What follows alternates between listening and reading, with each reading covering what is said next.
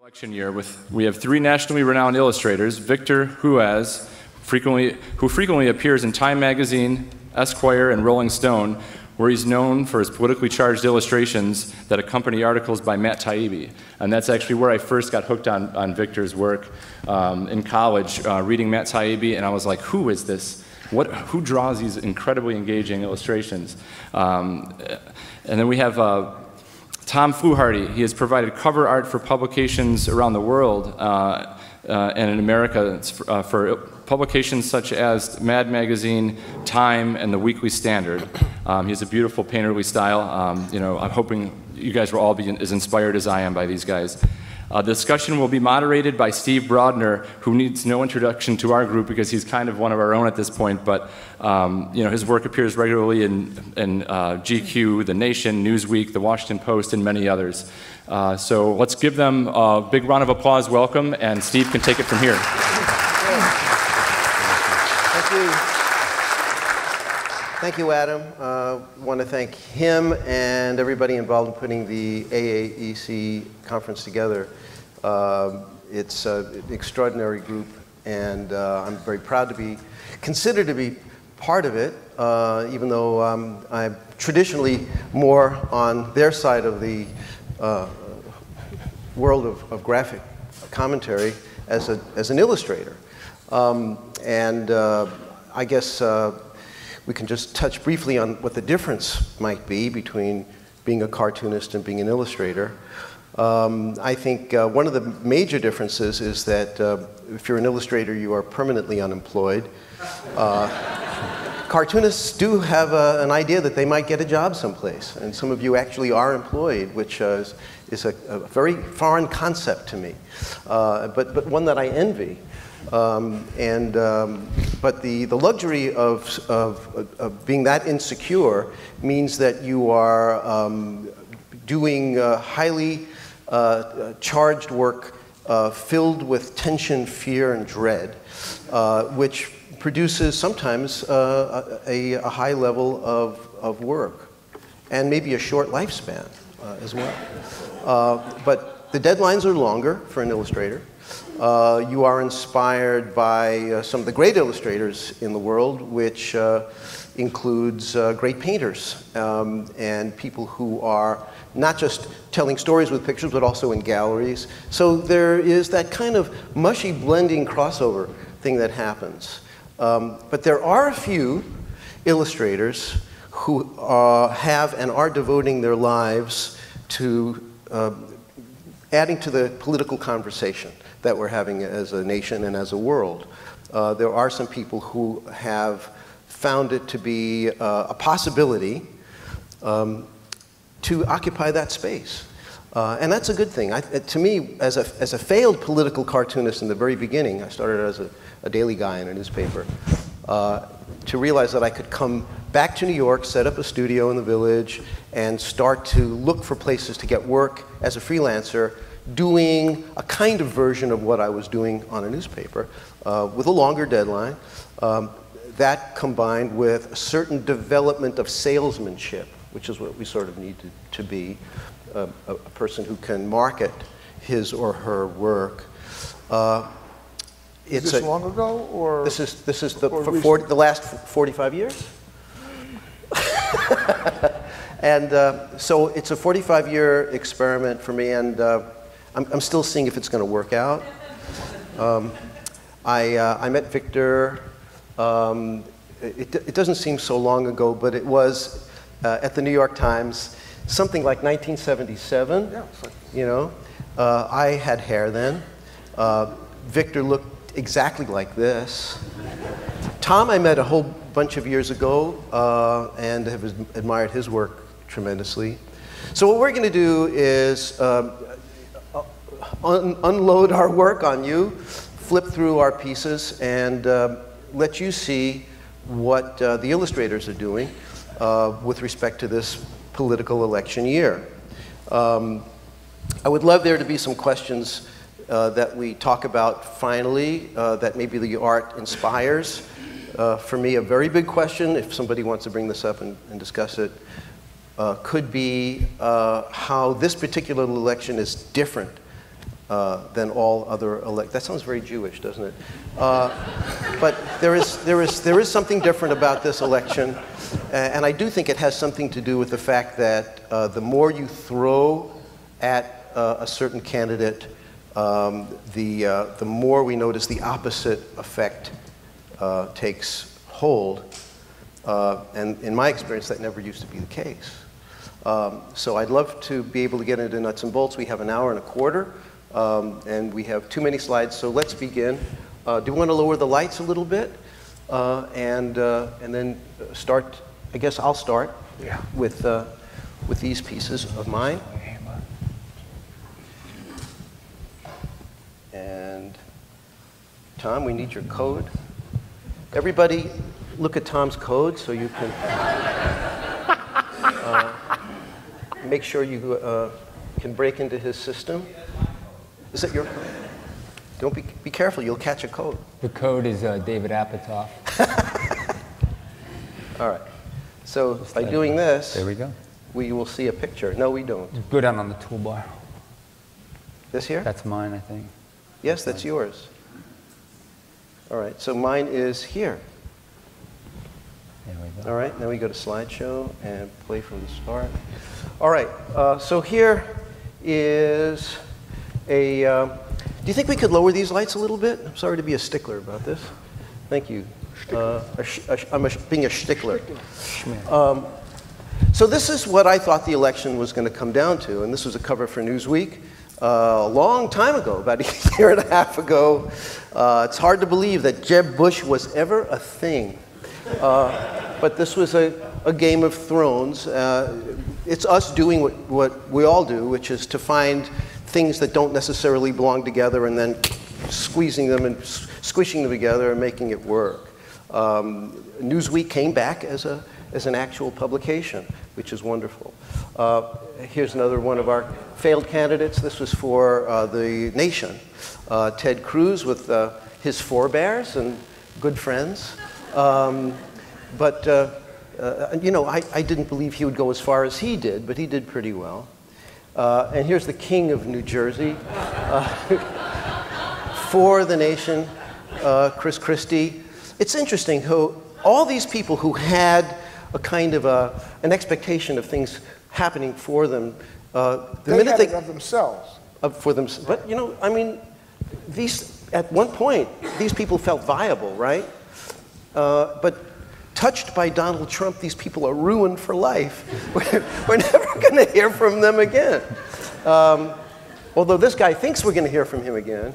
There's uh, Scott Walker for the Nation, um, the, uh, the two versions of Scott Walker. Um, he, uh, I had a, a, a, what I thought was a better idea for the cover, and they said, okay, you can do that for the inside. Uh, and it was this. It was kind of a double caricature of Scott as Nixon. Um, and this uh, I thought was going to be really easy, and I was up till four in the morning with this because it's either one or the other. Can you get both? And the answer is almost always no. It's not working. Um, but it did finally work. And another cover of Newsweek, and it's, it's the choir uh, about religion and politics um, and uh, a Hillary. So I work for, I'm kind of this vagabond, itinerant guy. Um, and here's Newsweek, and here's Hollywood Reporter. This is where I'm kind of like you guys in a way.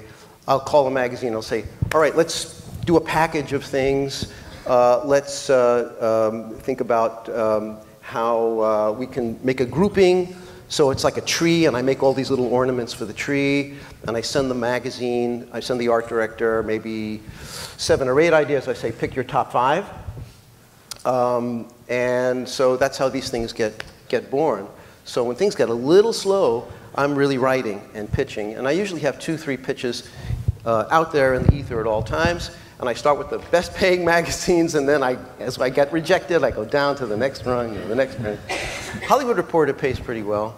I bring this up to show you that this was the summer movies, and Ted 2 and Jurassic World has got Hillary and Jeb, and uh, Mission Impossible is Huckabee hanging from a wire. Uh, but then when you get to the Fantastic Four, uh, you'll see that George Pataki is the thing. Now, who ever paid any attention, George Pataki running for president? But while this was happening, Trump starts to happen. And there is no Trump in here at all. So after I did the finish, I called the art director and I said, we got, I got to put Trump in there. So I replaced the head. Um, and that's my first, that was my first Trump of the season. This is actually my very first Trump ever. It's from Spy magazine in 1988. and, uh, uh, a, uh, a very uh, early one, but I kind of have the same, the same idea of how to draw him. Uh, I'll go a little faster through these. Uh, Huckabee for Politico, horning in on Matt Wuerker's action a little bit and uh, with his permission, of course. And uh, so I wanted Huckabee taking a picture of himself with a selfie stick. But then the article I realized is about his evangelical background, and I said, well, make it a, make it a cross. Um, here's a series on immigration for the nation. Uh, Jeb Bush uh, leading the Crusades. Uh, Chris Christie worrying about babies coming over the George Washington Bridge. Always got to put a bridge in there for Chris. Uh, Ted Cruz giving the Muslim woman the lie detector test. Um, here's a, a, piece for Politico, I believe, of uh, Huckabee riding uh, Kim Davis. Remember her? Um, and uh, Giddy App. And uh, uh, Ted Cruz for the Boston Globe, um, part of another package. I'm not going to show you the whole thing, it gets tiresome, but here he is planting the flag in the Congress by tying things up, and some unfortunate congressman's about to get it between the eyes. Um, people found out about, that's one good thing about what happened this year. People found out about Ted Cruz, who he is, you know, what kind of a human being he is, became pretty clear, even to Republicans. Um, channeling Ralph Steadman, uh, Donald Trump, uh, imagining uh, the applauding Muslims at the time of 9 11. He must have been strung out on something, some acid, something like Hunter Thompson. Uh, part of an LA Times package, uh, a deeply personal affair, uh, too complicated to explain. It's in the exhibit. It's in the exhibit. Okay, thank you. Um, did you explain it in the exhibit? Yes. Well, I'm glad. You can tell me later. Uh, here's Bill as a ball and chain uh, on Hillary's ankle. Um, and uh, just before uh, Donald Trump went on Saturday Night Live, uh, which was a pretty unspectacular performance. I did a series of Trump uh, as Saturday Night Live characters for Hollywood Reporter. This is Stefon. Here's Wayne's World. And of course, as a conehead. Um, for GQ, I did a series of favorite quotes. So uh, one of his early victims was Charles Krauthammer. I never thought I would make Charles Krauthammer to be a sympathetic character, but he is in a wheelchair, and Trump made fun of the fact that uh, why should I be taking uh, insults from a man who can't buy a pair of pants? Uh, which is really, what a sweet guy. You should know right away. Tells you right off the bat. Uh, this was a cover of Time magazine that became an inside piece. Uh, Trump uh, providing his own hot air. And it is in here, after all. my comment for the nation on What's underneath the comb over? It's really underneath the comb over. Um, you, uh, not the cover. Didn't make the cover. Uh, well, thanks, but uh, I'm glad they ran it. A period. Uh, this is from the, the, the Village Voice. Uh, Vic and I have both been working uh, with Andrew Horton at the Voice because they have been purchased by, luckily, a, a financier who loves caricature. Mm -hmm. um, and so we are greatly encouraged to do things like this. It says Trump as the toy fascist. This is an idea I pitched to the Boston Globe, the, the, the, the cabinet that uh, Trump would have. Uh, so uh, Sarah Palin as Secretary of Education, and Bobby Knight as Secretary of Defense, and uh, Hulk Hogan was supposed to be his vice president. I don't know what happened to that. Uh, I did one for Hillary also, Kim Kardashian as Secretary of Education, Amy Schumer, Beyonce, Rosie O'Donnell, Snoop Dogg, Lena Dunham, and Warren Buffett. Um, I have fun. Uh, Hillary uh, finds that some women are not entirely uh, supporting her. This is for Boston Globe. Here's kind of an even-handed illustration for the New York Times. it is the New York Times, and it was an illustration project. Um, but my rationale was to show how both candidates saw themselves in media, and that's what uh, the, the writer is writing about. Um, in this one, uh, I had, uh, so on the left side, flowers are coming out of the lenses for Mr. Trump, who was very pleased with himself. But on the right-hand side, I had guns coming out of the, out of the uh, lenses for Hillary, because that's, you know, a, a paranoid person thinks that way. Uh, but uh, they made me change it to wagging fingers, which is absolutely cheesy, but that's, it's the New York Times, come on, uh, gray lady. Um, Village Voice uh, asked me to go down to Cleveland to cover the Republican convention, and I said, you know, I'd like to instead cover it from TV, because I did that four years ago for The Nation. Um, and I sat in my studio with the TV going and I had an assistant behind me and I would just sketch in the sketchbook every 15, 10, 15 minutes, do a picture, tear it off, give it to my assistant. He would color it and then send it out to their thing and they'd go on Twitter and Facebook. And I did 150 illustrations in the course of the two weeks. And uh, uh, some of them are actually worth showing. Uh, not entirely proud of all of them. Uh, this is the way it started. Uh, I have more back here somewhere, but this is, this is my first one. Trump's hat, head being a, a, helmet with a big finger on the top, Teutonic uh, outfit. Um, this was another Village Voice uh, cover I did, uh, Jaws. kind of an obvious idea, but you know, you can have fun with simple things. this was for, this was for my, my convention coverage uh, kind of speaks for itself. Um, and uh, also pre-convention. If you remember, uh, Trump was trying to get in with the Jews. So uh, the, uh, the rationale was to, to claim that he's always wearing a beaver hat. Um, and uh, during the conventions, I was enjoying using a varsity fountain pen, you know those disposable fountain pens, and just not taking any prep, just taking the fountain pen and, and, and doing a 15, a five minute drawing with it. And uh, as you can see, when it comes to Ivanka, I didn't care if it looked like her or not as long as I made my, my statement. So here she is as the princess. Uh, and it's an actual quote. I was trying to get the real quotes. He has the kindness and compassion to enable him to be the leader of, that this country needs. Uh, Giuliani always looks like this to me. He's a screaming skull every time. I'm thinking like, die, Dracula, die. And Sarah Silverman said this, and I just quoted her, and uh, I don't know, just some people are just fun to draw. Um, and here's a full page for the LA Times of just a couple of weeks ago, uh, where it's the order has been a little shifted around here, but um, I have. Uh, I gave them uh, eight ideas, um, and they took all of them. They, I said, boil it down to five, and they said, we're going to take all eight. And, uh, and like an idiot, I said, okay. So I, I worked really hard over a short period of time. Um, and uh, so um, Hillary Clinton's debating partner in preparation for the debate is Sean Hannity in drag, and uh, Trump's, uh, or rather, that's Trump's partner, and Hillary's would be Chewbacca. Uh, more from the convention, uh, Paul Ryan in uh, Trump's pocket, uh, number 2B pencil on Canson sketchbook paper with Photoshop. Here's a, a, scene of Hillary actually in Benghazi. We don't really, never seen this one before, but she was there with a rocket uh, propelled grenade.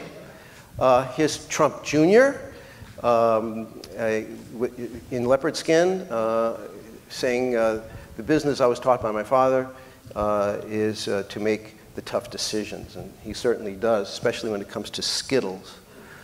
Uh, and uh, last, and maybe least, is uh, this uh, piece that ran in The Nation, um, a, a real cartoon that I came up with and, and sent to them that, um, that I think embodied the idea of Trump's statement of how he could shoot somebody on Fifth Avenue and and still get a lot of support. So I drew him uh, firing at the Khan family. Mr. Khan produces his constitution it ricochets and hits Trump in the gut. And yes, people are cheering. They're having, they're approving heartily of it. Okay, so that's mine, and uh, now on to Tom. Thank you.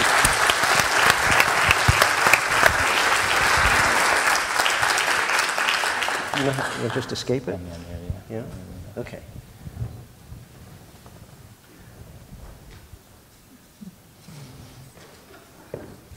Excuse me. Adam, same. You're down below, right? Sorry.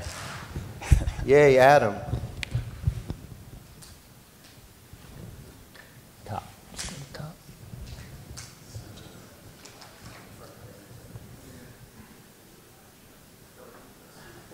And then take that to you. And It's always good to have somebody knows what they're doing. on the computer. Thanks, Adam. Well, this was, uh, I had drawn uh, Bush for Der Spiegel uh, back in, I don't even know what year it was. And um, it was too, it was too crazy. And, and I, he was like a, a sheriff on, on, on the globe going, shooting his guns. And he was just crazy looking. And then after I handed the cover in, they said, Tom, that cover is way too crazy. We had to give it to somebody in house. So my first opportunity to do the cover of Der Spiegel was hijacked, and I hijacked it myself pretty much. And then so after that, I, I, he just basically said, if you don't go so crazy, we have a conservative readership. Don't go so crazy, you'll get more work. So at that point, I had been really thinking a lot about portrait of caricature. So I just did this on my own, sort of uh, poking fun at uh, George and his uh, cowboyness. So and that's, that was in acrylics. And this was for the Weekly Standard. Um, this was in oils when I painted in oils on deadline, which is not advisable. And uh, I don't know what I was thinking, but uh, the call came in was like, could you do Hillary and Bill as, uh, as a soap opera? And so at those points, you cancel main events to do that. So I canceled my wife's birthday party. No, I'm kidding. Did you, did you scan it? How did you? Yeah, I actually scanned it. Well, yeah, you, you- it, it, you're, you're painting with medium so, um, medium so that it dries. Okay. And yeah, it was like I said, it's not advisable. But uh, anyways, that was too much. I just I just Googled um, soap opera, and the, the image that came up was just crazy. You know, dramatic moment. And then uh, I have a love affection, a love affair with Hillary, unfortunately. I love to draw Hillary. She just, I don't even know what it is, but uh, I, I never get tired of drawing, drawing Hillary. And so this was just a study that I did that'll show up in another image. And then this was for the Weekly Standard as well uh, with her. They, they actually ran this along the bottom of the page, and all, all across the page she was dri- dri- dripping documents. And um, so that's actually digital. So you could do that in a day. It might be a day that it takes you. So it's a lot faster. And this was uh, a painting I did back in, in, in uh, acrylics back in the day uh, when Hillary was getting ready to run in, what year was it, 2004 maybe? And. Oh wait, oh wait. So I kept seeing this image in my head, and I couldn't kind of shake it. And um, the, the the title was Sir Hillary poised for a takeover. And so I just uh, heavily relied on one of my favorite painters, and um, and sent and you know did this. Uh, it was just a promotional piece. Favorite painter was? What's that? Favorite painter? Oh, uh, Jean-Auguste uh, Dominique Ingres. Um, Um, he's a French painter. But yeah, so anyways, this was actually, I submitted this into a, um, a Spectrum Fantastical um, art competition, and it actually won a gold medal, which I was completely shocked. That's not a brag. I'm just simply saying there's a story here. They actually split the whole panel because people were really upset at this piece because they didn't think it was, um, uh, uh, you know, um, what's the word I'm looking for? politically correct. It, it was political, and, and it was that's more of a fantastical space Star Wars kind of a competition, but they let it in, so it was pretty crazy. And then this was just something I did digitally before one of the debates. Uh, I think this is before Hillary and, uh, and, and Bernie's debate, so that's digital as well. And then this was a study for Bill for uh, uh, another image. This is, yeah. So I'll use this in another image, but I, I basically do studies like this before I take it. This is an image that's uh, sort of what if. So I'm going to actually paint this. Uh, this is in the, in the, in the, uh, uh, the, the, the, vein of uh, Jackie O and, uh, and, and uh, Kennedy. And so I'm going to paint this on November 3rd.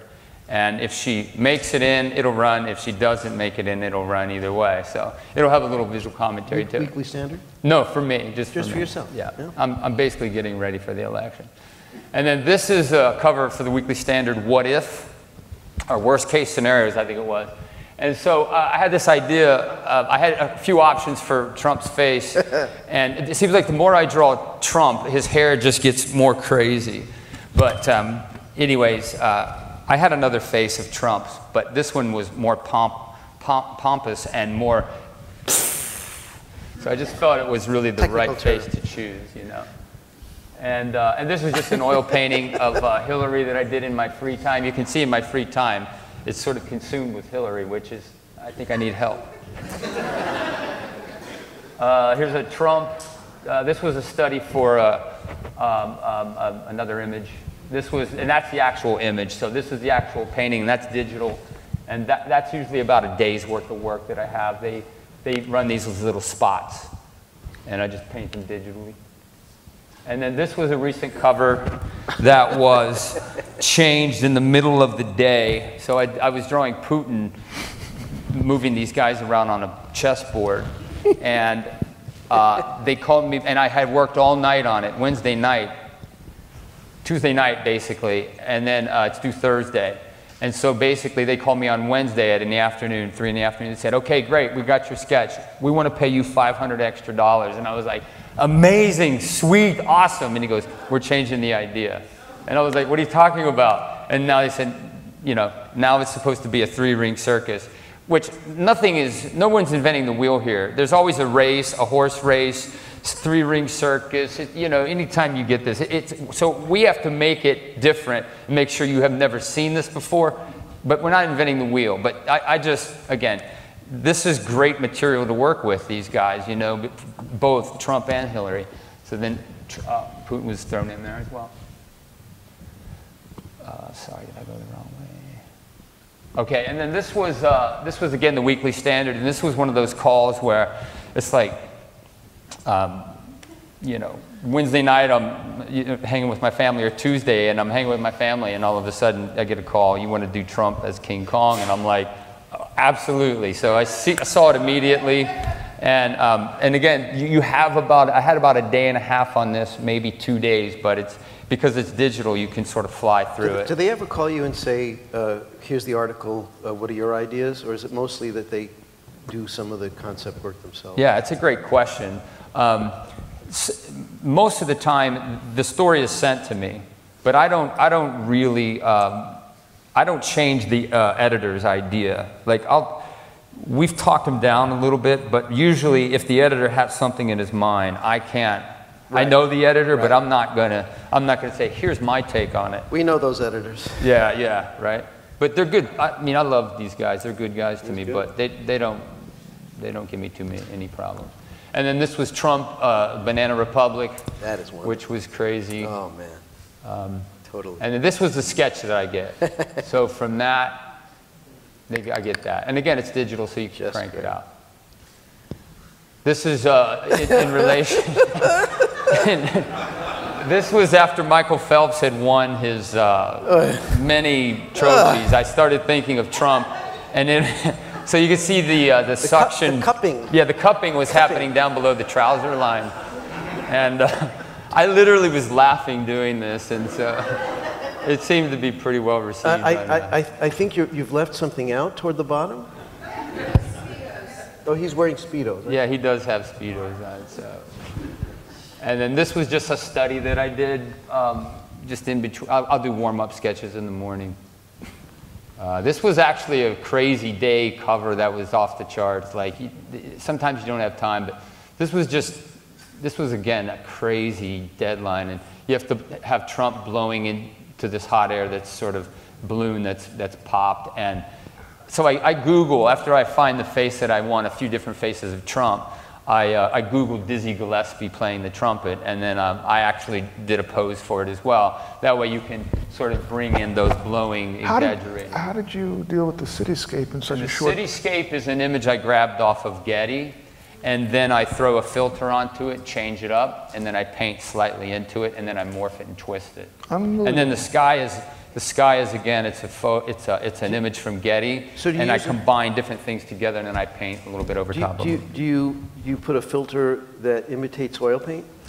I don't do that. Um, But- but you can, right? Yeah, but then, then you're committing to that look of oil paint, and then it has texture to it. So I don't.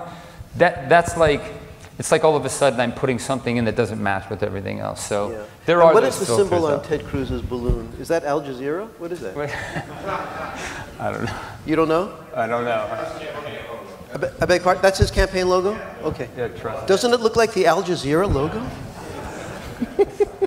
that explains everything. And then this was Obama for the Weekly Standard. Um, they just wanted him looking pompous, and um, so this was, this was, uh, this was, this, and again, this is all digital, but it was crazy. And I think the sketch started there. Wonderful. And then, uh, so I do, I draw traditionally, and then I scan in, and then I paint over top I of it. love the way you plot out your shadows as if they're little uh, uh, characters. You know, Oh, you, yeah. you give them uh, little uh, boxed-in uh, borders. Yeah. It's like this is this is how much shadow this gets. Right, right, right. That's yeah. so that's so smart. Oh, Thank you. And these are uh, various Obamas. Uh, again, you can, this one I cut and pasted. I drew on tracing paper back before Photoshop, and I would move noses and things like that. This was a digital, one of my first digital drawings of Obama, which um, I don't really try to draw digitally. I paint digitally, but you lose a lot. This is just another. Um, this was uh, for the standard as well. Uh, just this is, and then I draw the eyes in later. I make them look where I want them to. Uh, another just classic quick drawings, and these might take anywhere from like 15 minutes. And then I, I'm thinking of superheroes. so I, I was going to Comic Con in San Diego, and I decided to create uh, some of these uh, superheroes. So there's Obama's Captain America. And then uh, Billy has the flash. The, the funny thing is, if you squint your eyes, you can actually see. That, that is You can. and Everybody's squinting their eyes. That's pretty weird. so primo. It is Yeah. there. It looks much better here too. Yeah. It- it's a little muddy on the screen. Yeah, this was when I actually laughed at. Sometimes I laugh as I'm doing my. If you're laughing, That would be the pose. That's me posing as Obama. And then there's Hillary as a superhero. The dog down below is freaking out. and that's the picture I used, one of them for him. These are other studies of Obama's back of his head. Uh, another Obama face. And these are just a dog that I, I've been drawing dogs, so I think I can stop. There's another dog. this one's called Sleep, Let Sleeping Dogs Lie. But we do, outside of the politics, we do this. And there's my other dog. I think that's it. Thank you. Thank you.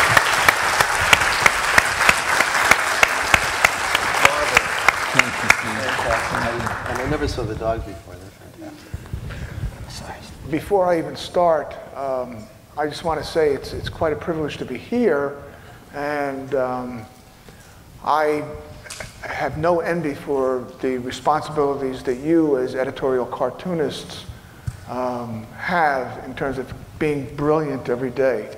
Um, I'm one of those people who comes up with uh, the best answer in an argument four hours later. Or uh, in, in my own career, um, I'm not quick like Steve, so my best ideas are usually four days after the, it stopped being, stopped being newsworthy. Vic is very modest, and you have, we have to all forgive him for that. Way too modest. So, Uh, I, could you press slideshow on the top? oh, I'm sorry, I didn't see. This is better. Please. Oh, we did it again. There it is. There you go. Yeah. It only gets one. Okay, Okay. So now, press that. look at that. I, I posted this, uh, I'm putting this here because it's, it's a lesson in certainty. Uh, the Republican Party did not destroy. As a matter of fact, uh, it, um, it came on to provide approximately eight years of complete misery to Obama. But uh, it's, I'm, I'm always wary whenever there is a definitive statement on any particular political situation. This is the only one I'll post from uh, my early career uh, working for the New York Times back in the uh, late 70s, early 80s. And um, uh, this is essentially one of my influences, which was Looney Tunes, uh, Tex Avery, Bob Clampett, and the expression on Reagan is sort of like when Tex would do that. One side of the head is turning this way, and the other side is still looking in the other direction. Genius. Uh, after, after illustrations like this happened, Abe Rosenthal called the uh, art director, John Kaye, into his office and said, um, he was drawing him like an ape. And John came back to me and said, Abe says you're drawing him like an ape. I said, he is an ape. I, I, stopped working for the Times after, uh, really? not soon after that.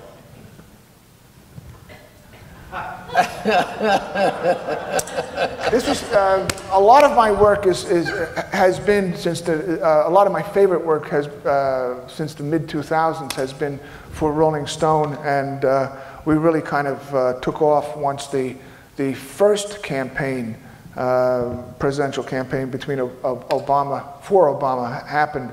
And during that period of time, John McCain started finding religion, and Matt Taibbi wrote a very, very funny, as he usually does, uh, and, and biting uh, critique on, on uh, McCain's lack of real religious fervor but I, it was probably my most anti Semitic Jesus I've ever drawn. Sort of like an even handed commentary, also for Rolling Stone. It was, uh, and it was one of my more um, straight on exa exaggerations. Uh, the, the, older I'm getting, the more I'm, I'm, sticking closer to the script in terms of the faces. I, I tend to treat them more as psychological studies so that uh, when back when back when uh, Hillary had mentioned something about ISIS being like an existential crisis, and Matt Matt Taibbi goes, "What is she? What is she like Sartre or something?" So,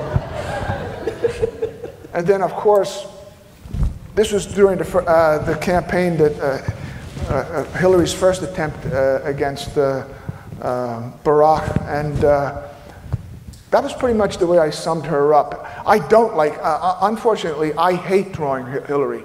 And for a purely uh, selfish, unpatriotic reason, I'd want to see Trump get elected because for me, for me, she's a total nightmare. Um, can, you, can you say why? Yeah, I, I, have my reasons. I have my, oh, I, I, we've kicked it around quite often. There is no Hillary there. Uh, she turns slightly, she becomes a completely different person. She also morphs. There's no sub- substantive, sub- substantive uh, person there. So that I feel like, for me, the difficulty in capturing her in a caricature is, uh, is, is more a reflection of uh, a psychological reflection on but her. I, don't, you, don't you think that it's possible that uh, uh, it's a cause for her struggles as a candidate? Absolutely. Is that, is that it's striking other people the same way? It's like, who are you now? Which is why, which is why she's so distrusted. Yeah. This was for, that was for, both of those, these, these drawings were for uh, another Matt Taibbi piece on just discussing that first debate where, uh, where it was Hillary as the sweaty Nixon oh, yeah. and, and Barack as, as, as the new, he was appointed, he was anointed by Ted Kennedy as like the new John Kennedy. But later on, he just uh, kind of just got mashed in the, uh, the machinations of, of politics. And as opposed to the original uh, Charlie Chaplin image, I've got pieces falling all over the place. The, uh, this was something for GQ.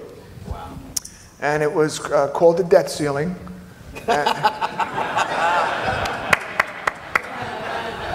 And it was uh, a, a five day, no, it was a three day, I'm sorry, three day, 24 uh, 7 piece for, for GQ. We kicked it around. Uh, it was Three-day deadline? a lot of, a lot of coffee, but um, it was an opportunity to not only uh, parody the Michelangelo, but uh, also just to get as many faces. The only person I forgot, the only person I forgot was Grover Norquist, who was such a, a factor, and nobody mentioned that during the discussions with the editor. By, by the way, um, in my situation, uh, uh, when I work for like Rolling Stone, I'm, I'm very fortunate to work with people who get it, who really trust the, the, the artist uh, to pretty much manage the idea. Sometimes they'll, they'll tweak me, but uh, for the most part, uh, what, I, what I illustrate is pretty much what I'm, uh, my, my concept. Um, going into the cur- the cur- this current campaign, this is an old uh, Brocky, uh, now I think Rocky and Bullwinkle. Remember when Bullwinkle kept on, watch me pull a rabbit out of the hat? And he kept on pulling out something wrong, and in this situation it was the, uh, the GOP continuing to pull out skunks. Also note there's, there's a very, uh, Trump uh, also doesn't factor. He's, I almost put him in as an afterthought in the illustration. This was how early on it was. But, um, Right, he's not central at all. But Marco was, was, Yeah. was, the, uh, was definitely another skunk, and who's soon to um, find himself in that, that Moses moment where uh, the, the audience was, was the, the, the electorate was going for the golden calf, who, by the way, is hung well in that picture. Do you, uh, do you find Rubio hard to draw? I do. I don't find Rubio. I think no, Rubio for me was, was a joy because he was kind of like a little bit of Peter Lorre. He was a little bit of he was a little bit of Edgar G. Robinson, a young Ed, Ed- Edgar G. Robinson. And if you really looked closely, you didn't, you didn't even have to look that closely, but there are any number of pictures where you're looking at the eye activity and you're going, God, you know, if I was like uh, a police artist, I, I'd be drawing this, this eye activity going on. They're just slightly off, just enough that there's either a serial killer uh, element or, or, or a, uh, like Peter Lorre in M, you know? There's just that, that really creepy factor to him. No clown cars. The, the, uh, the, uh, this was a piece by Matt, and by uh, the one. This was one time where Rolling Stone said, "Well, we'd like a clown car uh, image. You know, we think that could be funny." And I said, uh, "Have you have you Googled this this campaign so far? There's eight million Republicans coming out of out of a cl- clown car uh, image already." Uh, I don't want to do a clown car. So let's do them coming out of an elephant's asshole with the biggest with the biggest clown uh, being squeezed out like a hemorrhoid. so um, this was great. You know, It's marvelous that it was fun they went with taking faces and putting paint on them, white facing, and and uh, uh, and Emmett Kelly and them, them out. But uh, just to say parenthetically, I- it's also one of the best Trumps, just in terms of caricature. Yeah, it's great. He But it's really- very straight. If you really think about it, it's a very Yeah, straight right. p- portrait. Mm-hmm. Well, sometimes that's. As opposed that's to, the most you know- effective way to go, is just to really just blend it. And the, the, the further the campaign went on, the more t- Trump's hair just kept on falling lower and lower mm-hmm. in front of his face, for me at least. Mm-hmm. Uh, remember, how many of you ever read Dondi? Dondi had this friend, this kid who was a, who had, uh, another gu- guy, and he had this blonde hair that always went over his eyes. Uh, and uh, the more the campaign on- went on, the more I'd watch Trump as little as possible. Uh, I'd say, well, he's, he's kind of got that butch thing going on. But here, the reference is obviously Bergman. I like to steal, um, I, like to, I like to reference classic uh, imagery, either from fine art, great cartoons, uh, old Popeyes and Bugs Bunnies and stuff like that, or great films. And this was a perfect opportunity to uh, parody the, uh, um, the Seventh Seal. At this point, Trump's hair is completely over his face. And th- th- this was for the, um, the American Prospect, and there was a huge red background that I threw in the, uh, when it finally ran on the, on the cover of the, the issue. but I, I really enjoyed just focusing on the, the characters themselves and the fight going on, the, the, the, the chaos. It's great. I liked, uh, and I, you know, in one sense, Kasich was very funny because there was, there was something very blockish about him, and, and with those sad, mournful expression uh, all the time on his face.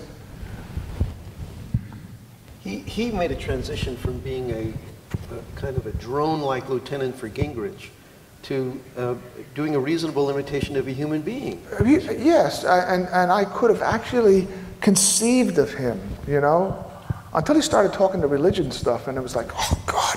Anyway, Yeah, he might have he might have had a future in the Republican Party if it hadn't gone south. well, right.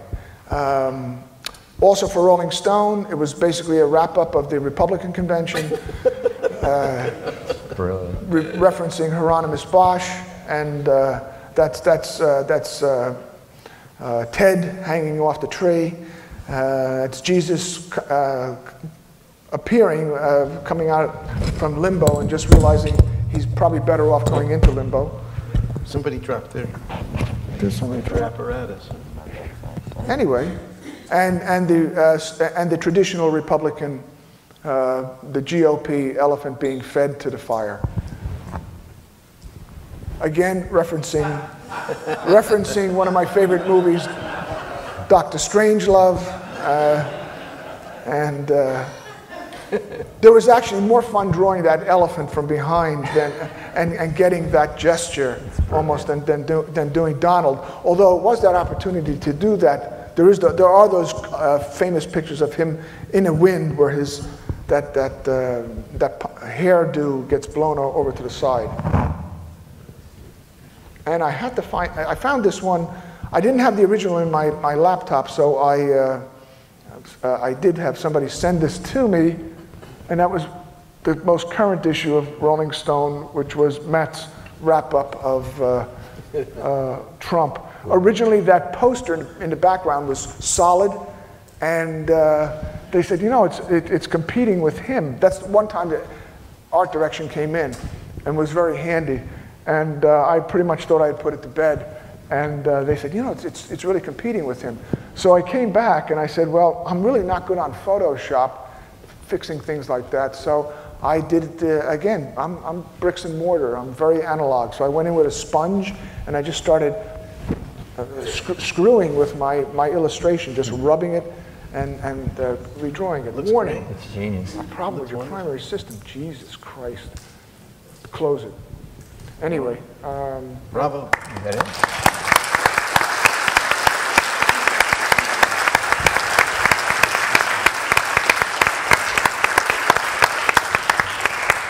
So, um, you know, I, between these two guys, I, you're looking at um, a, a wide range of um, ways of looking at, uh, at how to handle a microphone. And, and uh, everybody has their own unique style, you know, of uh, dropping mics. And, but that must mean he's a rapper, right? He's dropping the mic. Um, and, uh, but uh, Tom is uh, uh, a, uh, an amazing portrait artist who is looking for ways to in, kind of infuse point of view inside the face.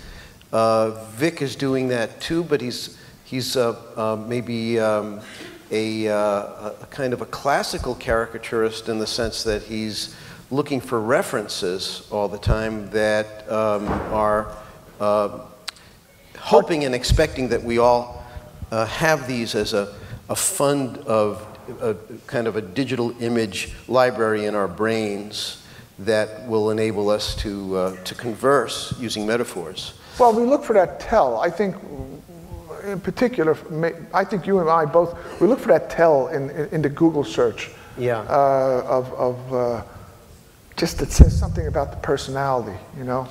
Sometimes it doesn't. Um, you could have 15 pictures of Hillary, and five of them don't look anything like her. Yes, this exactly. is a Well, very that's- big again, problem. Back to that problem. and sometimes, Or which Hillary? I Yeah, mean, yeah. sometimes, you know, Yeah. a, a Hillary from, from uh, 2000 looks like her then. Yeah. 2004, 2005, uh, Ju- last July. You have to pick which era you want to draw. Yeah. Which, Some- sometimes somebody new comes on the scene and uh, they're immediately in the limelight and I've never seen the person. So I have to Google that person. I, I, I've never heard of them, never seen them. And then I got to figure out, well, which picture looks like the guy. And that's really tricky. And you have hours to finish it. And it's, you, you have to somehow have a sense of you're picking the image that really captures that person because you've never seen them as well. Technology is not, uh, technology has not necessarily made our job, it's made it different, but it, this hasn't necessarily made it easier because uh, there's, there's, there's that element of, oh, you've got, you can just jump right on Google, so you can get this job done real fast, don't you think, you know? Um, I, I don't know. I, I, I'd kind of like to steer the, the discussion for a few minutes anyway uh, in the direction of where we all overlap. Well, what you do and what we do uh, uh, are shooting for some of the same things.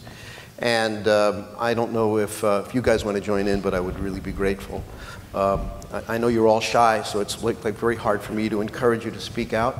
Um, Um, microphone over here. So people can walk up and um, ask but questions. my, my uh, sense is that we're all doing this because we want to add to the national debate in some significant way.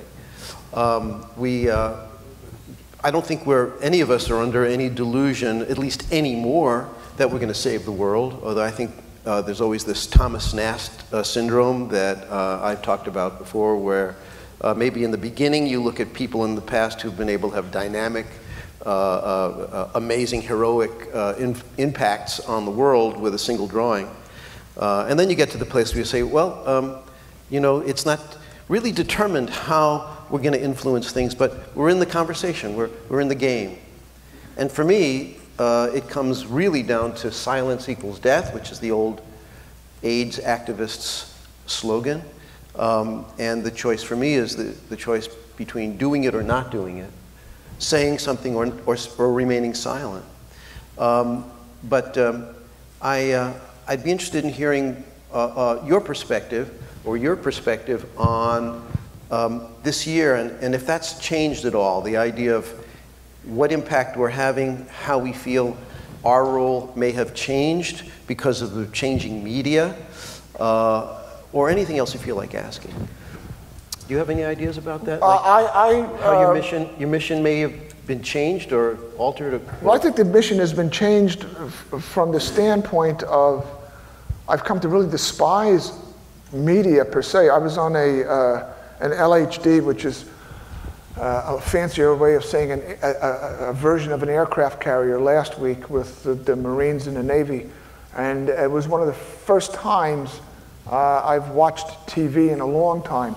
Um, one of our sons insisted that we get a smart TV about two years ago, and it turned out to be too smart for me, so I, I stopped watching television because uh, I needed three controls in order to, to find what I wanted. So I said, F it, I, I don't need it, I don't need it.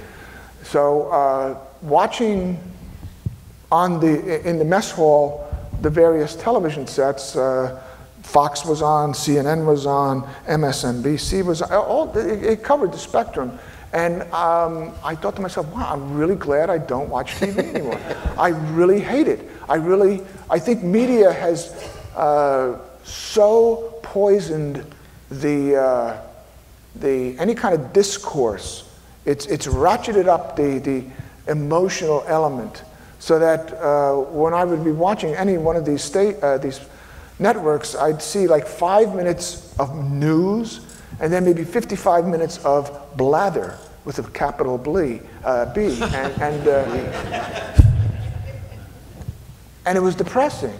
And it, and it, and it uh, was just filling up space. And, and it made me so appreciate uh, the old Walter Cronkite days and Huntley Brinkley days where you had a half hour news. And somehow it And seemed to, the way it that is. seemed to comp- encompass an awful lot. And, say, and if there was a crisis, yeah, they, they spend a few hours during the course of the day covering a particular event. But now, with this 24 7, um, it's made our jobs more difficult because things fall out.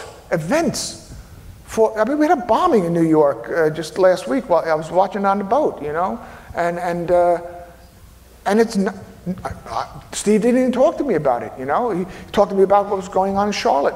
And, and Charlotte will be out of the news cycle as soon as another in catastrophe 15 happens. oh, something else just happened, you see. That's right, see? So, uh, and Benghazi. And of course, there's always Benghazi. Anyway, so We'll always have Benghazi. so for us, it's yes. For Did us, have- it's, it's made the, the, the job more difficult. I think. I would add just one last thing too. Um, make no mistake about it, we have convictions. So we are not passively painting and drawing and making imagery. We are, I'm making Hillary look as stupid as possible. like, I, I don't like Hillary, so I am enjoying the process, you know, of, of delighting in, in displaying her and vi- making visual commentary. So whatever our convictions are, whatever we feel, we're always communicating, visually commenting on whatever our positions are. So I don't really know of anybody sort of passively sort of making imagery, and I, nobody's saying that, but I just, it is, it is, a, it is a, it's an interesting thing that we, I, I'm an impassioned, I'm an impassioned dystopian. So I'm, um, I'm cautiously pessimistic. Um, yes, go ahead. First of all, yes, I fell down in my own town. That's. Um, I got a question on the reference material, uh, specifically uh, to Tom, but uh, all three of you. When you're grabbing the Getty images and you're reworking them, I mean, that's a great shorthand. But also, I mean, you can tell that a lot of your, I mean, like, okay, you found a great shot of Hillary or Donald or somebody that you used, and you could trace that back to, uh, say, the photo that you found online. And I'm thinking specifically of the, the Shepard Fairey case. Have you ever had any problems? Say, or do you have permission from Getty to reuse those images? Do you have, have has anything ever traced back to you, no pun intended, um, where you had a problem because of the original photographer? Uh, to, and it- this comes about the whole culture of reuse online.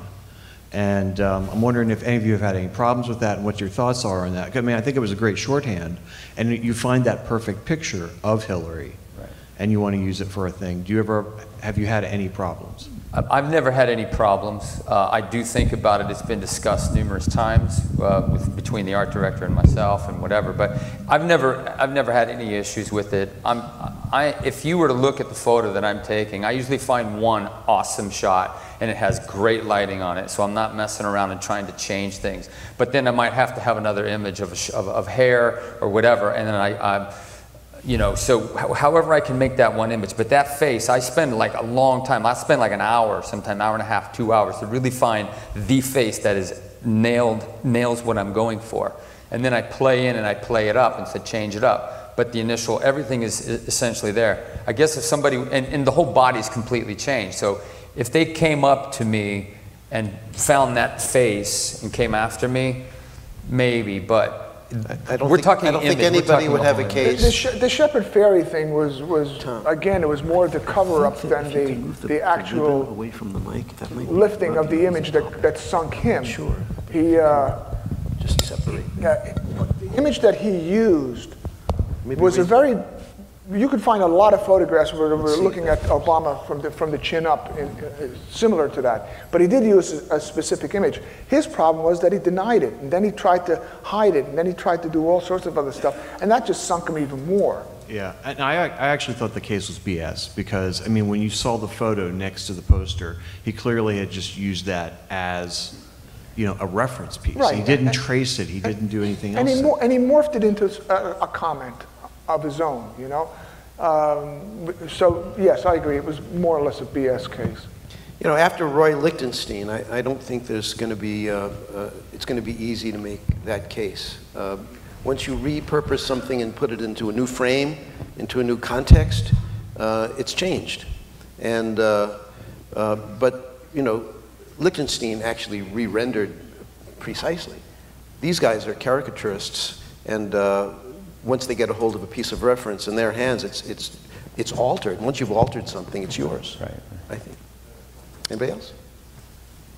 Yeah, my question is also about the reference material, and um, it's more about the, the process, the technique. You know, you're pulling from Getty and Google Images or whatever. You find that perfect photo, and maybe it's uh, you know blue tinged or yellow tinged or something, or or you know the the light source is coming from the exact opposite side from maybe another uh, photo that you're pulling for another person in it. How do you work with uh, that if, if, if uh, it's not really uh, uh, fitting in with the whole of your piece? Uh, well, when the light sources are, are in conflict with each other, that's where all those years of studying drawing come in. And you're, you just, you know, just almost like do a negative in your mind, and you're, you're throwing the shadows in the opposite direction. That's a technical trick. If you, if you look at their work, um, both these guys, they are showing you in their sketching how they are feeling the volumes of these objects. They're not just drawing shadows and lights. They are actually in their minds feeling and then feeling around with a, with a soft medium, a pencil or pastel or charcoal, how those volumes, that, that tactile experience is moving into 2D. And if you get into that, then what you're doing is you're pumping that into your photo reference. And it's, it's really this uh, alchemy that's taking place in your brain uh, that responds to years of training. Vic shows up at the Society of Illustrators on an average of once a month, maybe, to do their Tuesday night sketching. And if you're in New York, I urge you to drop around. It's lots of fun. The yeah, models Tuesday are always interesting. Yeah, Tuesday and Thursday nights we at the society we have drawing sessions and and, and it's uh, right near the bar, right near the bar. which helps in the drawing a lot. And, so yeah, and, Tuesday uh, night is naked naked people. What is it, 15 bucks? Something like that, 15 years. All right, and you're, you're there all night with 70 people, and they're terrific. There's a lot of camaraderie and mass support, and uh, and then uh, people like Victor show up, and you can see how poor you are as an artist. And, No, but he's no. but he's you know We- he's we- he's, draw, he's actually sometimes you're not drawing the model, you're drawing the other artists. Yeah. but if you follow him on uh, Facebook, you'll see those pictures. Everybody should friend everybody here uh, as, and, and look at Vic's pictures from the society, and it shows what we're talking about. It's not, it's not that connected to photo reference. It's, it's, as I said, this alchemy that comes. And I teach illustration at School of Visual Arts, and I say, I'm not going to grade you guys on talent. I don't care about talent. I say, I care about sweat. It's all about the sweat. And if you and, and there's no problem that you're ever going to have in illustration that you can't solve with extra sketching.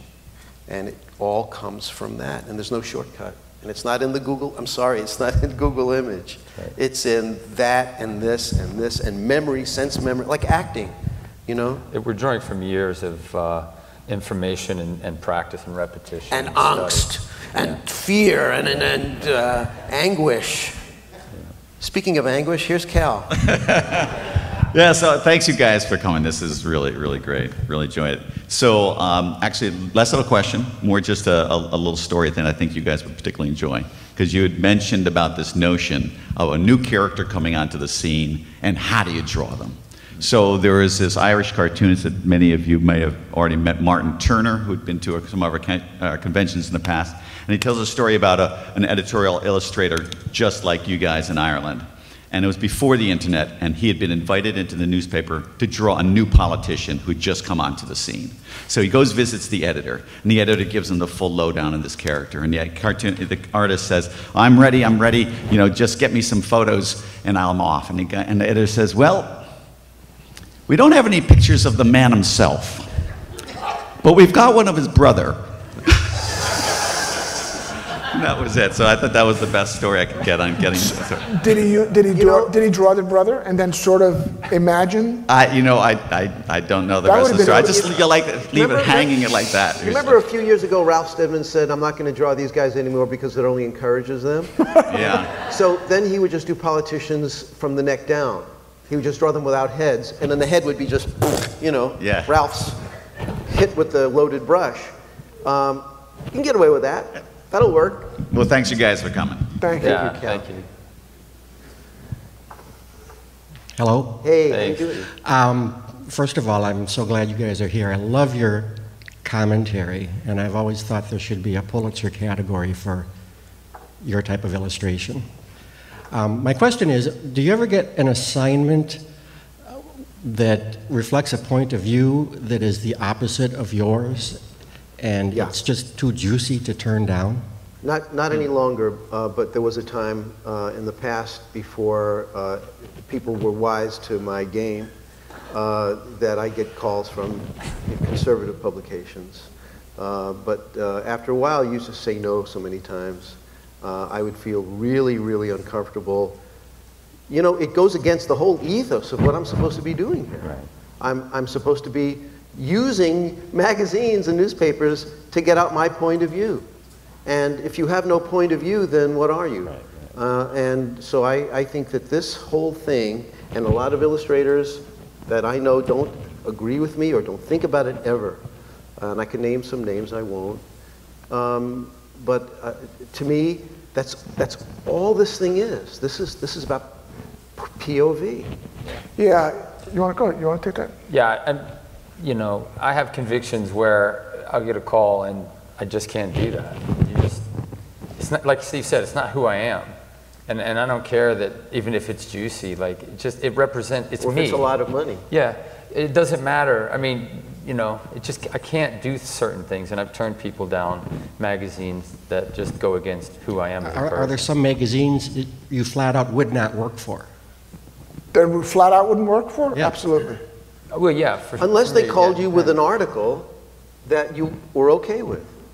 you know? Except they wouldn't Yeah. call you with an article, you'd be okay. Yeah, but, but sometimes the magazine, sometimes the magazine might be, um, y- you might not agree with the magazine, but the, the article, the, the story could be something juicy, but that isn't conflicting against maybe a conviction that you have. You see what I mean? So it's not that you're looking the other way, but sometimes there's a place for uh, that you're not slamming somebody that you might really care about. Like You if, know what I mean? if a libertarian magazine called with a story about the military-industrial complex, I could see myself doing that. But that's because there's a, a, uh, an overlap. Generally, there isn't. Um, there, there was, uh, I'll give a case in point, just recent, the Village Voice. Uh, they were running a, a, an issue on uh, the former police commissioner Bratton. And uh, they kind of threw it to me to do all the illustrations, the cover and the inside pieces as well. And it was, uh, there was an opportunity, it was based on this report that came out that said, well, since 2011, there's been no, uh, this, this um, broken windows policy isn't, you know, has made no impact. And uh, I read the story, what, I, what they presented me with, and then I kind of like looked online and was reading more about the, the, the commission itself that was, um, that had, had done the study.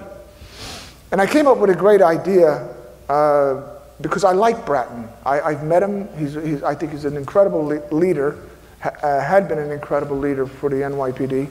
And um, I, uh, uh, I said, you know, guys, yeah, since 2011, just letting you know where I stand. I'll, I'm going to do a concept, but I'm not going to trash Br- Bratton. So I, I took the broken windows policy and, and, and, and uh, rather than make Bratton look bad so much, I, I, it was more like the emperor. They wanted the emperor had no clothes. Well, I said, what if the the emperor was wearing a glass uniform and it kind of like was shattered, and then it's uh, it's it's scattered all over the floor, and we've gotten just exposed enough. But uh, I didn't want it to be. Insu- I really didn't want it to be insulting, and I still think I, I came off with a very solid piece uh, for the cover. The inside piece was great because I, uh, I parodied Norman Rockwell's The Runaway, and I had uh, a huge uh, NYPD officer sitting next to a very diminutive uh, Mayor de Blasio with, with uh, Bra- uh, Commissioner Bratton and behind the, the counter where the, uh, if, in, that, uh, in that iconic image. In which And if you, did, if you weren't aware of the Norman Rockwell painting that Vic was referencing, his illustration was so good, it didn't matter. It was just, a, Well, it was, the- it was a the- cycle of pieces that, it's in the that permanent were all collection now. A1. Congratulations. It's in the permanent collection now at the Rockwell. They say, well, this Yeah, is pretty very the Rockwell funny. Museum wanted that piece. Awesome. Yeah. I'm going to ask another one. Could you all name a couple of contemporary illustrators whose work you admire, who isn't on the stage? Who isn't on the stage? Yeah. Well, there's you. um, Ralph Steadman. These are living people, right? Ralph Steadman. Con- When you're talking contemporary, you mean like current uh, or, tra- or traditional? Okay. I love Ralph. I love Ed Sorel. Um, I'm, I'm a tremendous fan of Brian Stauffer. Anybody doesn't know that name, write it down. S-T-A-U-F-F-E-R. One of the most brilliant uh, uh, uh, image makers uh, in America. Edel Rodriguez, another strong political artist. He did the melting Trump face for the cover of Newsweek. Uh, and uh, I, I could name a whole lot of Suko, Frances Jetter, Marshall Arisman, Brad Holland, good conservative. Who is? Say again? Anita Kunz, yes, we love Anita. Uh, Barry Blitt, um, and Present Company, Yeah, I mean, and the cast of thousands. th- these guys, I love their work, and um, I, I, I- mean, I love. Uh, I, I, I think more image-wise now than I do just draftsmanship and just somebody with great drawing. Um, but uh, Bill Mayer is uh, uh, one of the, I think, one of the greatest image makers I think of our time. Uh, he's a, a M-A-Y-E-R, Bill Mayer. Uh, the guy is just a genius, and uh, he's a very humble guy, but uh, he's a great image maker. I, I, I, I've, do a, I've done a, a talk with showing image making, and he's one I talk about. There's another guy, uh, He's a Pascal. technical master. Yeah, he's, he, everything he does. s- You know how big those things are, the little gouache things? He's a brilliant. He's genius. So, uh, and another guy, Pascal Campion, who's uh, uh, become a friend of mine. Uh, he's uh, he, he he draws um, for um, um, in in Hollywood for uh, um, movies, and a lot of the guys I really love now are probably more working for these studios, and their their draftsmanship is amazing. So, but Pascal Campion is another really uh, great image maker. So. Know, my, my, my influences were, uh, and still remain, people uh, uh, repeating what uh, Steve said here. Um, uh, Ed Sorel, who I really felt that there was there should have been a school, you know, like certain, uh, like Rembrandt had a school of, uh, of artists very much in that tradition. And I, uh, early on in my career, I, uh, I, I really uh, gravitated toward what Ed was doing because that was the way it reflected the way I drew. I, I kind of like find myself searching for the, the, the line, for the form, for the, for the volume, uh, and also going for the gag. Uh, Rick Meyerowitz, uh, not brought up. Uh. Rick Meyerowitz was a huge influence. Uh, Rick Meyerowitz was one of those uh, epiphanies for me as, a, uh, as an art student. And his Mona, when his Mona Gorilla hit the National Lampoon cover, it was like, oh, this is, this is what I want to do. I want to really do something very funny and, and, and absurd, you know? And so uh, that, was, that was one. Uh, one more person. Uh, Steadman, of course. Steadman's like God, you know. Steadman, uh, Tomi Ungerer. Uh, Tomi is brilliant. Contemporary, uh, just about everybody that, that Steve's mentioned too, there are so many people, and of course now it's like, you know, this is why I'm bad at, I don't want to ever go back to school, because I'm bad when, when confronted with a question and I got to answer right, right up, because there's so many names that are now blanking out on me, but uh, I look, you know, I'm going, oh, great, great, great, great, great, great, great, you know. Can I tell you a really, really fast Sorel story?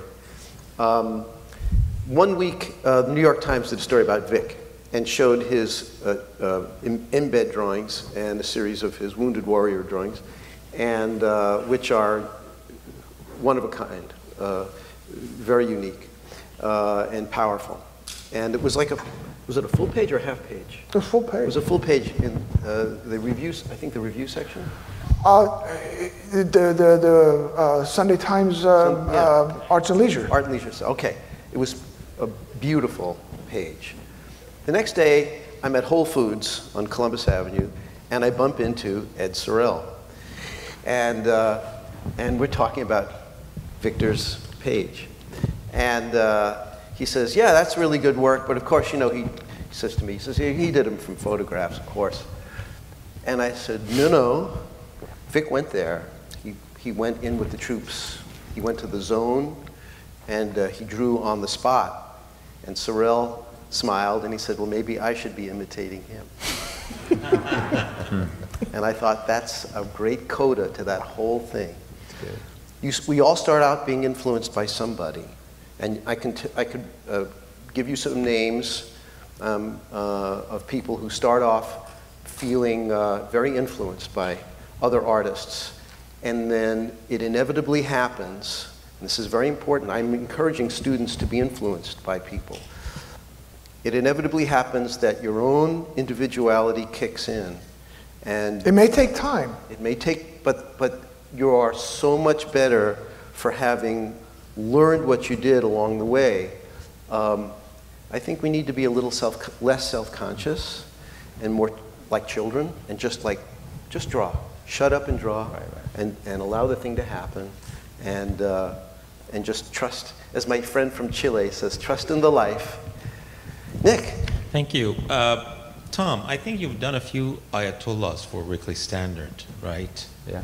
Uh, And they look m- very well, like it seems that you followed their rhetoric or what they've mm-hmm. been saying for years, but without, I, I guess, without knowing Persian. And that's very interesting for me because when you draw, let's say, Trump or Hillary, mm-hmm. you've known them through the media, you've watched them. And that was tremendous for me to see how you portray like Rouhani or Khamenei so mm-hmm. well. How did you get to their souls or how did you just extract it? Well, I'm not really sure I get to their souls. I think uh, perception is reality. So if you notice something that moves you that maybe I'm doing, uh, you're seeing things that maybe I'm not aware of. And so, um, you know, we don't really have a lot of time to spend on any image we make uh, most of the time. And so we are gathering th- this information in front of us and we're looking and we're studying and we're, we're going back and forth trying to get a read on who this person is. We may read a little bit and you know, we're trying to build our information to help us accurately represent and draw something. So, um, I mean, how, how do we do it? I just think um, it's just a matter of, uh, like I said, doing some legwork and really studying and looking and, and, and, and maybe even just sketching for a while till you get a really good feel for something. Um, most, And yeah, I mean, if you draw something usually by the, I, I, I teach online and I say, draw something a hundred times. When you get to the hundredth drawing, then you're really probably getting it and understanding it. Um, so I don't know if that really answers it, but um, that's what that's how it, that's how it works. We were discussing something like this over dinner last night where uh, caricaturing is not it's not really easy. If you're really trying to get to a per, uh, to the personality if you're really trying to flesh out a personality in, in a character there are uh, there are incredible technicians out there. All you got to do is go to facebook or uh, go into the web and there are people who could except Tom, they could, couldn't draw him, draw him or paint him under a table, but uh, they could draw me under a table in no time. But they don't invest a- a point of view in, in, in, the- in their caricatures. They're brilliant, brilliant technicians. Uh, and I think that's what's, uh, I think that's, the, that, that's that div- uh, separation. I'm going to say a radical thing. Read newspapers. Read newspapers. Newspapers are the excellent delivery system for news. It beats everything. Even as they're getting beaten up. And if you want to, if you want to, has anybody read the Jack Shafer piece uh, on, I think it was on Slate, about the virtue? Please Google this and read it. It's one of the most magnificent things I've read in a long time. And he really nails why newspapers must survive. Because that's the only way to truly be well informed is to read newspapers. So, at the risk of sounding like a fuddy duddy, it's okay. I can be a fuddy and a duddy. Yes, Steve, uh, David Horsey from the LA Times. Hey. Um, and I, I Thank you for I- letting me borrow your page once in a while. Yeah, well, that's actually the one thing I want to do. That's to why touch he's on. here. You son of a bitch. Yeah, here you to- son of a Give me bitch. No, a- actually, you made me feel worse today because whenever you're- you're in the LA Times, I think, God, that's brilliant, but you know, he's got weeks to do that. Now, from what you've said, you actually draw faster than I do, so I don't know why they don't just hire you. But I'm not going to. It's okay for this to be a mutual admiration I'm not society, gonna but we don't do that. each other's thing. Yeah, but actually, uh, there was a point you made that, uh, uh, that you just touched on briefly that uh, reflected something we talked about in a panel yesterday, this idea about Trump um, as sort of this unique individual who seems in some ways impervious. You know, you can do the, the best caricature or most outrageous or most you know, damning thing, but somehow it, it almost builds him up more than it Yeah, does. he's like a fire eater. Yeah. you just shovel f- coals and he, he gobbles them up and gets, and gets more fiery. Yeah, so I just wanted you to talk about, what's, what's that all about? What, what, what is it? I mean, I can, I can think of some things, but. I don't know. really, I don't entirely understand it, uh, except uh, I was talking to Ben a few minutes ago about this, that uh, an article somebody wrote uh, saying that Trump's flaws and his faults and corruptions, lies, uh, slipperiness, uh, hypocrisy do not fall into the uh, category of political figures. So it outrages us who follow political figures uh, deeply. But they do, those flaws do fall into the category, a different category which we accept, which is the category of the robber baron. These are the flaws of a Carnegie, of a Rockefeller, of a Jack Welch, a buccaneering, risk taking, heroic, greedy, money grubbing American hero. Yeah, And if you look at him that way, and I think a lot of Americans excuse all these flaws in that kind of a guy. But right? why? But why? This is going back to the media, reality television. People have grown up with Trump now, but they've also grown up with all these reality shows uh, where they watch people plot against each other. The winners are always the scummiest human beings on the Uh-huh. planet. Thank you. And everybody roots for them, you know? Uh, and this is what this, this uh, more than any campaign I can think of, this campaign is a reality. It's a goddamn reality show where the, ra- the rattiest bastards uh, make it to the top, and and uh, uh, uh, and everybody, and it doesn't matter. It doesn't matter if so and so on uh, on on Real Housewives or, or whatever it is where they eliminate or whatever they eliminate each idea. other. These are the Real uh, what they say, everybody's going, yeah, but that, that's, that's fine, that's fun, that's great fun. So you, we can say whatever we want about Trump. That's like, um, that feeds into what they, what everybody's been accustomed to. Yeah, that makes you part that- of the makes you part of the reality show. Absolutely, and also he's been on that show. People have gotten conditioned to seeing him as this executive. He sits at the ta- and he's firing people, you know. And I've heard, I, as God is my witness, I've heard this is what we need. Somebody come into Washington, just go down the hallways and fire people. And that's how it works. How did we not realize that that's how Washington works? You know, you just go down the hallway and you say, "You're out, you're out, you're out, you're out, you're out." Yeah, yeah. You know, no, co- and this is a uh, this is the a further dumbing down of the populace. Yeah, I agree. And I, So we are we are we are criticizing somebody as if they were playing game A, and they're actually playing game B, and we don't really make the shift. We don't really go to game B because we don't, as cartoonists, as journalists, as you know, puff piece opinion writers, never did that. We never had a creature like this before. Maybe we'll figure it out before November 8th, but for now, he has a game, and he's winning this game uh, on his terms, which is very possibly to lose this election by not too much, and then take all his supporters who will now lay down their lives for him and have them buy more stuff. Does that make sense? I think originally he wanted to lose, but just have a, get that uh, media attention enough to just keep his uh, his his name brand, you know, healthy. It, and it got out of control. He actually became a viable candidate. You know. What do you What are you feeling about this? Do you, do have you had the experience of just throwing the kitchen sink at this and then having Oh, yeah, I mean, like I've been a feeling that you're just. But I, I think actually. shouting what- into the Exactly wind? what you're saying is because, I mean, Hillary Clinton's fault, fault, flaws are very, they're conventional political, she is a political, we know that kind pal. of person. Yeah. And, and, and I think you're exactly right. The, the, the, the public also sees her in this box, whereas Trump has created his own box. He's in this new box, this, me, this, this mix of the media and entertainment and myth. And so, yeah, so it It's- it's really kind of doesn't matter how you draw him, it's just, It's like he's That adds Andy to. Kaufman, you know? This is like performance art. That's true, you're good, That's- Andy Kaufman. Right? It's like Andy Kaufman running for president. Yeah. It's like I do this, I do this, I do this. You get upset. yeah, Thank you So very what? much. I love it. Yeah, Yeah. no, that's good. I better let somebody else on here. Thanks. I just want to say real quick, um, the, in at 12:15, uh, the bus, if anybody is going back to the hotel. Missing the um, bus. You know, we will, we will encourage like one or two more questions, but some of you that may need the bus, we have a box lunch outside and we'll have time. But, um, you know, you can take one or two more questions.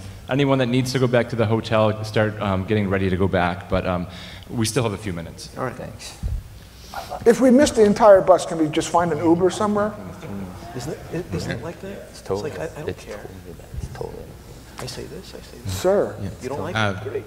I I would like to just uh, follow up a bit on, uh, really continue the conversation you were having. It, uh, 60 years ago, 70 years ago, politics was this uh, serious issues discussed by serious, boring people, and it was the I'm job of the, the cartoonists and the illustrators to add a little levity and fun to the thing. But now that the entire process seems to be turning into levity and fun, uh, can the cartoonist actually switch to, in effect, make the message look, there's actually something serious about this? And is it possible for cartoonists to tell people that things are more serious than they We're appear? finally getting to the most important question of the whole Yes, uh, thing. And I have, I would love you guys to talk. I, I, mean, will try it. Uh, and My feeling is that irony isn't dead, it just switched sides. you know, and, Excellent. Thank you. Uh, You guys have a response to that? a short answer, no. Uh, No, short answer, no to the question. Uh, I- I I don't, I don't know what impact we make, you know? I Raise your hand if you're, I'm sorry. I, I, again, going back to that dystopian point of view, um, I, I, I think that whatever we do is appealing, first appeals to the people that already are on the, in the same choir. Uh, if I do something for Rolling Stone, somebody who reads National Review is not necessarily going to A, read the publication to begin with, B, give, give a shit what I drew, you know? So, uh, and, vice versa, you know? Um, Can I ask for a show of hands uh, if you, as a cartoonist, have uh, recognized this point and have changed your tactic in any way to um, adapt to some kind of new sensibility this year? One, two, three. Okay. So uh, some people have, and uh, I. Uh, the idea is sort of like uh, recognizing that uh, instead of us being the, the parodist and the clown, that we actually see the clown taking over elsewhere, and that maybe our job is to bring, use our tools as communicators to introduce some information into the uh, experience of, of, of journalism. Um, I really like the idea of infographics. Uh, I like the idea of, uh, uh, like my GQ series on, on the illustrated quotes. I didn't change any of the words. A lot of those Village Voice convention pieces where I didn't change any of the quotes, I just illustrate them. Uh, to drive home a real thing and not to make somebody into something else, but just to say, um, you know, by doing a drawing, you can underline an idea or a, re- a reality. It's an absolutely true thing that we're spending an entire campaign without discussing the top five issues that are facing America. And those top issues are not somebody's emails, and it's not somebody's hair. And uh, to me, they're climate change, inequality, racism, gun, gun violence, uh, and a, a, uh, an electoral system that's destroyed by money, uh, and, uh, and also gerrymandering. And I, and I think the, that the, and, and the nullification Congress, uh, I haven't heard that term very much, but it's Oh, what six, six years of the Republican Party stopping the United States government from functioning. Why doesn't anybody want to talk about this? Uh, we are stuck on crap and garbage. Thank you. Um, and, uh, and I'm waiting for the debate. Maybe Hillary might mention one of these issues. Uh, and, uh, and look for some actual discussion of policy. Uh, but we're very driven by clicks and ratings, um, and that's, our, that's one of our big problems. David? Thank you for a wonderful presentation. I enjoyed it very much. In a related vein, do you ever find yourselves becoming too shrill as a result of your personal convictions or, or uh, because you uh, are alarmed increasingly about what could happen in November? And if so, do you find that you have to uh, constrain yourself to be more persuasive or constrain yourself for aesthetic reasons? Too shrill? I've never had a governor, really. No such thing. You're never too shrill. No, I don't think so. I mean, you have a every magazine has a uh, temperament, Yeah. you know? And so you, you can't, if you're drawing from, it- like, you don't, you don't draw the same way for everyone because everybody has a certain reader temperament. So you, you know if a magazine's calling you what's permissible and how far to go. Just like Der Spiegel told me it was too crazy, it was, it was too weird of a bush. So, you know, like in terms of how shrill, um, I, I think you, you start learning your magazines that you're working for and you know their temperament, and you know how to draw. So your Basically, they're calling you to do what you do, so. So your client constraints then restrain you. You're professional enough to recognize the audience and to adapt for that. Yeah, I mean, that, at least that's my, my POV. I've never thought of any successful caricature, no matter how far out, as shrill. Shrill has a, has a, a connotation of something that is uh, inarticulate, uh, loud to the point of, of, of um, not expressing itself well. I think a shrill caricature is a poor caricature. Um, the most extreme caricaturists in the world, Daumier, Goya, David Levine, George Grosz, they're never shrill. They're kick-ass. And I, and, and I don't think you can be kick-ass enough. Thank you. Oh, hey guys. Hi. Um, First of all, just really, all three of you, just Thank wonderful, you. wonderful work. Thank you. I have a question for Tom, though, specifically. Yeah. Um, Some of the images you put up there, you're like, oh, this is digital, I did it in a day, I did it when I was sitting on the can, or whatever. Um, You know, you just knock it out. Um, You must be taking a lot of time in the pencil stage, solving problems, choosing color palettes, all of those kinds of things. Um, How much time are you putting into, let's say, the pencil uh, concept stage before you go to the final art on the digital piece? Yeah, I mean, I, I don't, I don't really, I know, have, people work in different ways. I have a friend that will submit five ideas, six ideas. I, I get briefed, I know about what they want. Uh, sometimes there's a sketch for me, but sometimes not. And um, I just, uh, I have a good sense because I've been doing this for 20 years uh, now, and so I really have a gut feeling that this is right on.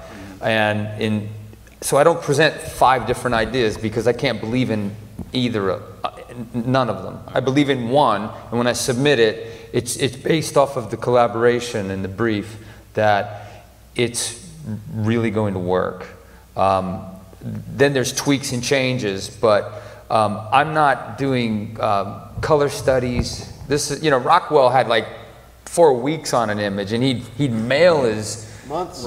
Co- Yeah, I'm talking, you know, it was crazy. This is a digital age, so they're calling on Tuesday or Wednesday. I got a, I got a call on Thursday morning, the cover's due at 6. So that's, you know. Really? Same day? Yeah, absolutely. That's, that's nothing. Really, Like, that's it- normal. It But- looks like you spent a week or so on it. I mean, Um, just beautiful. thank Very, you. Very involved. No, um, I, I, I wish I had more time. I'm not trying to make myself sound like a genius, like I did this in a day. But that's the way Nate, that's the way editorial is. Yeah. And so, um, That's also the way to get a magazine addicted to you. If you're that good, they feel that, oh, we call him in the morning and he'll get it out.